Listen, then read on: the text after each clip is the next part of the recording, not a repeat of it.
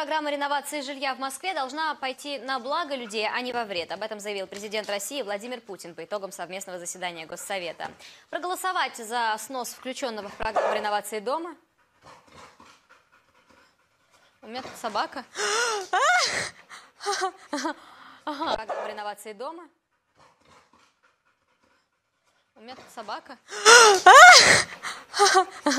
Ага.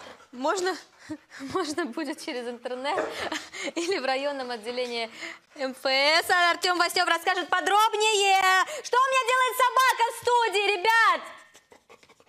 Я вообще кошатница. Я кошатница, я люблю кошек.